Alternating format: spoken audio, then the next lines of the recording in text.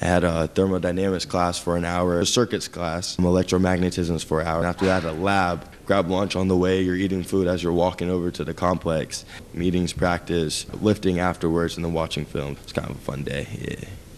You see the smile on Josh Dobbs' face? That's the look that acknowledges he's not fooling anyone when he says his normal 9 a.m. to 8 p.m. schedule is a pretty fun day. And it's, it's not many people doing what he does, you know, on a daily basis. Just to balance that and play football, let alone be the quarterback and the leader of our team, uh, it's, it's big to see him do that. We all know Dobbs as the athletic quarterback for Tennessee, but you may not know that he's training to be an aeronautical engineer. I've always been interested in it. I remember um, when I was younger, it kind of it kind of started when we would go to the airport. My parents would always get me there early. I would just stare at planes, just fascinated at them. In fact, Dobbs had an internship this summer helping design engines that will be very important in the near future.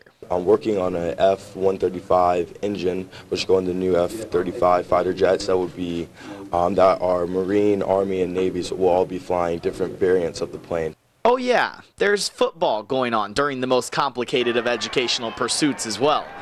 Don't worry, he's got that under control too. We used to always sit in the room and talk about, you know, how we want to impact this team, you know, how we're going to, you know, impact this program, you know, what we want to do, what we want to accomplish, and he's living up to everything he said he's going to do.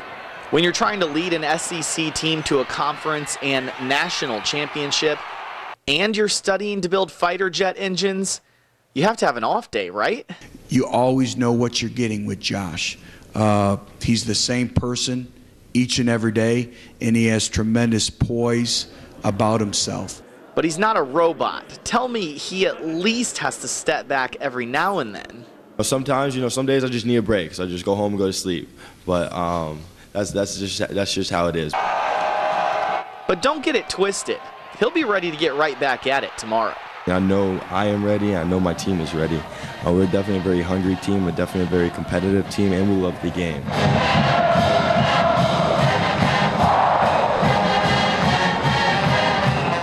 News Channel 11 Sports, I'm Jake Young.